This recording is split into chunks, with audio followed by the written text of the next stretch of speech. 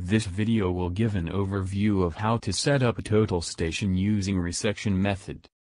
When the total station is not located over any of known point, resection helps to define a coordinate of station from measurements.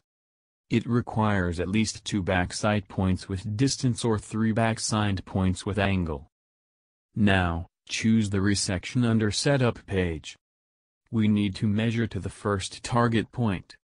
Click Measure and we can select it from memory, create or input a new one. Enter the height of reflector. Then name to the target and press angle and distance. This will measure to the target and press done to store the measurement. And then we can measure the second target. Let's select the target again, enter the target height. Aim it and then press angle and distance to measure. Then measurement is finished and the result has been stored. Here you can see the calculate key.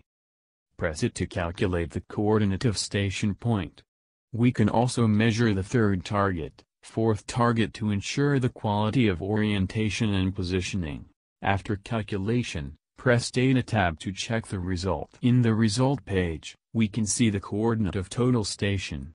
Then back to measure page and press Save to save the result as station. Input the point name, code and instrument height if needed.